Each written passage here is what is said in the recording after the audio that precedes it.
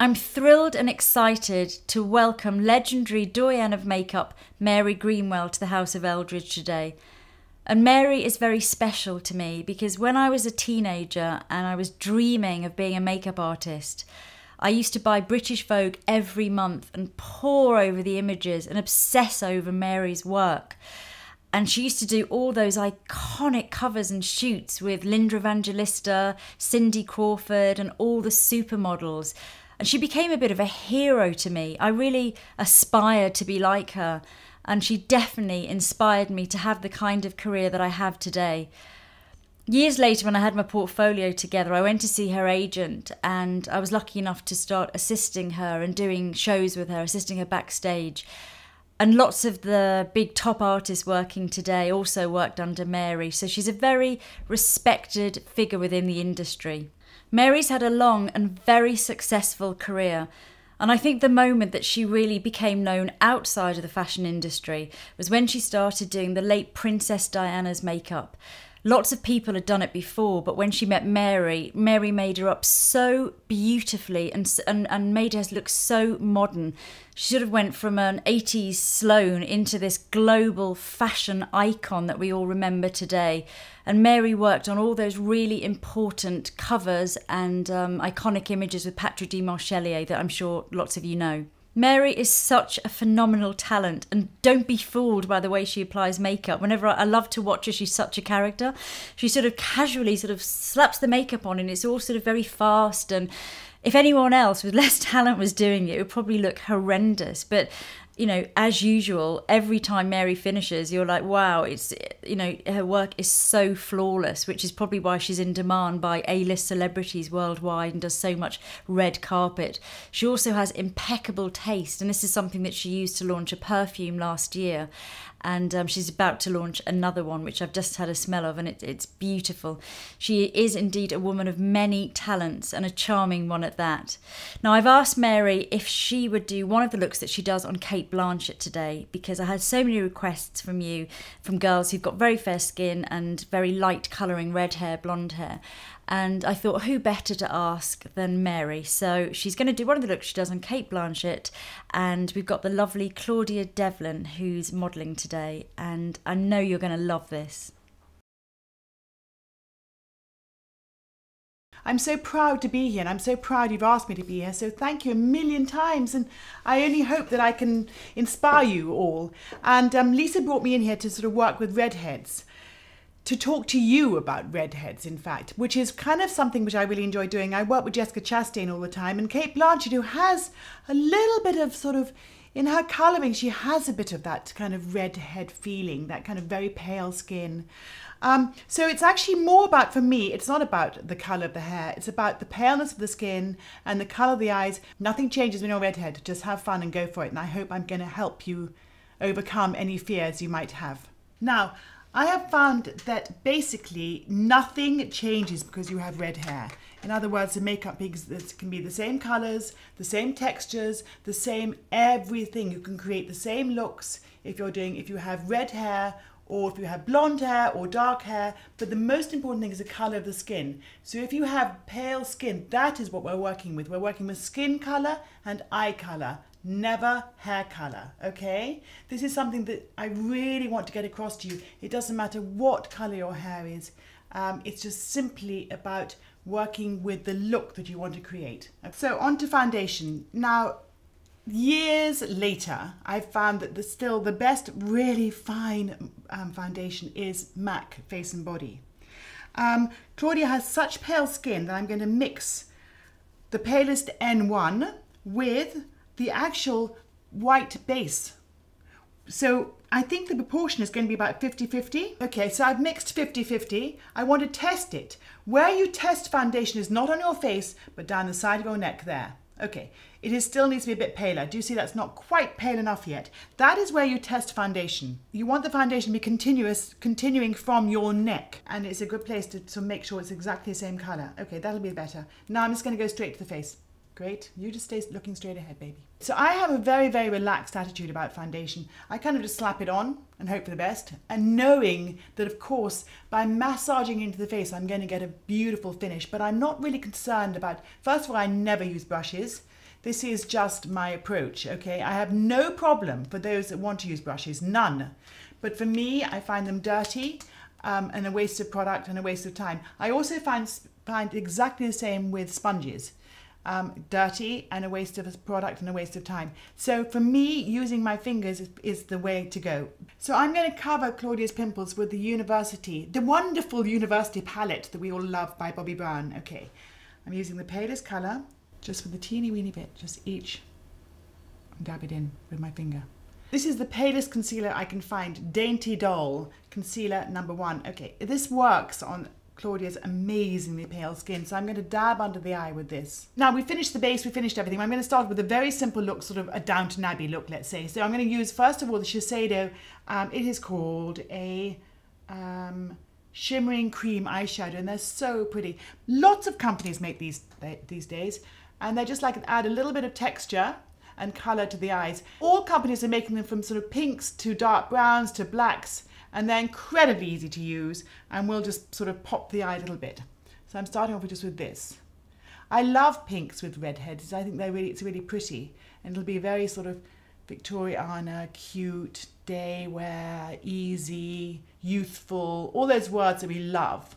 There we go, that's that done. See how pretty that is? Just that really pretty little pink. So continuing the same look, I'm just gonna make the eye pop just around here. I'm gonna use actually the Giorgio Armani Eyes to Kill. They do a fantastic range of these soft colors. So taking a brush, it's very gold and divine, it's kind of a rusty gold, you see? So I'm just gonna make the eye pop just in the corner here. Again, I'm using creams, I'm using very little, and it's just to help the eye pop. That's all I'm doing. And you just need a very little bit of this product. So I'm taking it actually from the back of my hand. What I'm doing is I'm just making the eye look a little bit bigger, frankly. I'm just sort of getting rid of the blondness of the eye and giving it a bit more shape and definition. That's all I'm doing. You guys must be so good at this because you have Lisa teaching you all the time. It's so easy to do makeup when you have professionals like Lisa teaching you. So I'm just taking this across so we have a really soft little eye now. I'm going to add a tiny bit of mascara because no matter what, mascara is the biggest tool. So I'm going to use Bourjois Ultra Black Mascara. I have a theory that there's no point wasting time with brown mascara, but that's my theory, okay? I know a lot of makeup artists, a lot of people love using brown mascara, but I genuinely find it a waste of time. Now listen guys, I didn't clean the brush well enough. Let me just show you something, everybody. I have too much mascara on the brush. I'm going to have to put the mascara down and I'm going to have to pinch it off. That was completely my laziness. That was my lazy approach. And you know what? Sometimes we make mistakes, even makeup artists, you know, we're not perfect. None of us are perfect. So I'm going to take a Q-tip, the best tool in the industry, and just wipe away my little mistake there. There we go. I'm now going to wipe the mascara brush. I'm going to really, really wipe it because I want so little on her lashes. It was my fault. I should have done that earlier. I'm now going to add a tiny bit on the bottom lashes, just in the center, just to make the eye pop just a fraction. I have not put any more mascara on the brush. I'm simply losing what's left on the brush. Continuing in this theme of this, this very soft makeup, I'm going to use a beautiful pink blush by Givenchy. I love these. I love these. I love the fact there are four colors in one palette and they blend to make create a real softness. I'll show you. So you know, I always take off the excess of makeup on the back of my hands. It's a great place to do it. Do not go straight from the brush to the face. You will probably make a mistake. And then just gently brush across the cheek. You know, some makeup artists ask a girl to smile. I've never quite got that. I just find it sort of, you know, I want to put the blush where I want to put it, not where the smile is dictating that I put it. And I want to put, in this case, I want to put it quite high up on her cheek just here. And I know I want to put it there. So I want to now bring a softer blush, a um, less colored blush and a more neutral blush into, into Claudia's forehead. For this, I'm going to use a Chanel. As you can see, it's more gentle and more skin toned colored. So taking the same brush, I'm just going to dab this on the forehead just to lower her forehead a little bit through here. You know, when the sun hits you in the summer, it hits your forehead here and your cheeks here. So I'm kind of really mimicking the sun by just bringing her forehead, making her forehead blend into the hairline a little bit more with a bit of colour. I'm going to use this Giorgio Armani brow pencil. Right, now I want to tell you something. When I was growing up, my mother used to let, use a lead pencil through her brows because it was the perfect grey. She had grey hair, she went grey when she was very young. And because of that, the, her brows always looked amazing and totally natural. Never, ever, no matter what your skin tone, use a pencil that has red in it. Okay, this is like the biggest you can see that's the easiest way to, to see whether someone's wearing pencil through their brows is if it has red. I think you're probably all learning that I'm quite relaxed about makeup. I'm not very necessarily very precise. I just kind of want things to look very, very real and um, sort of un, almost unperfected. Just really like, you know, yes, it's it's all there, and you maybe you've done it yourself. This is my little brush from Japan, my little baby toothbrush from Japan, which is by far the best eyebrow brush I have ever had. I'm just going to finish the skin. We're actually virtually done, but now for the first time, for the second time, I'm using a brush, okay? Which is even foreign to me. So I'm just going to put a little bit of powder here. I want to lift this area now. This will just blend the skin blush and the foundation all into one. So there's absolutely no, there's no, there's nothing. It's all blended in so beautifully right now. So this is all kind of like a pure, pure look. But it will, it won't matte but it will, will knock back just that little bit of shine, but also give it a shimmer. Moving on to the lips. Okay, I want our lips to look really, really soft and pretty, so I'm just going to slightly use a lip liner, but very, this is not really for anything but my own joy and delight just to help me sort of understand the mouth a bit more. It does give you, you know, the more you work with a feature, the more you understand it. So I'm just kind of getting an understanding of Claudia's mouth when I'm doing this. And then I'm going to think about what colour lip gloss to use just to make her mouth look, keep it as soft and English rose as, as she looks right now. Having outlined the mouth, I'm now going to put gloss, just gloss, this Tom Ford colour. Right, pout your lips. Great, perfect. Perfect. Now open a bit, open a bit, a bit more. Great. Now rub your lips together. Crazily, mad, up and down, back and forth, back and forth, back and forth like and up and down, big time. There you go. Now doing that, you will expand your lips as much as possible. Um, this is why you see old ladies doing that on the tube, and they're so great. They're kind of all going back and forth. I do that now to make my lips, lips look as big as possible. So here we have a really simple look for a redhead. This incredible pale skin.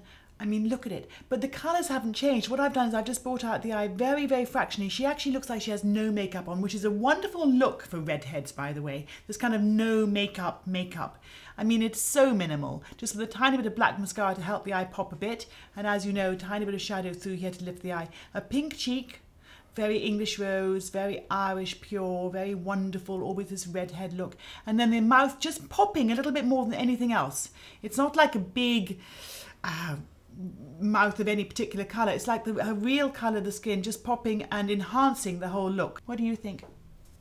Um, I really like the brows and I like the fact it's natural like the whole the whole thing. I think sometimes I put on makeup and it always looks too heavy on me, you know, or the foundation's too dark. But this is really nice and natural. It looks like I've got hardly any makeup on, which is nice. Good, I'm glad you like it.